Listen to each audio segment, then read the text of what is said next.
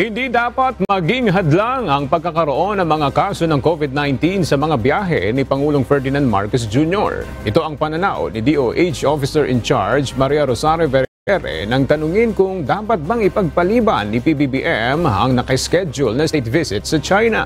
Ayon kay Yusek Vergere, mahalaga para sa ekonomiya ng bansa ang pagpunta ng Pangulo sa ibang bansa. Kailangan na rin na anya nating tanggapin na bahagi na ng ating pamumuhay ang virus. Kailangan maintindihan din natin, we are already currently living with the virus. So, yung pagpunta for example sa isang lugar na isang tao dahil mataas ang ang ang virus uh, detection uh, should not hamper us from doing our work. Ang mga bisita po ng ating presidente sa iba't ibang bansa ay importante para sa ating ekonomiya